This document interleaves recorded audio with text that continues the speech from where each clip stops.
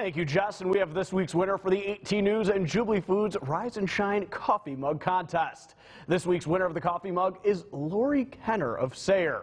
Now, if you want a chance to win a free mug and be entered for our monthly gift card giveaway, head on over to our website at mytwintiers.com.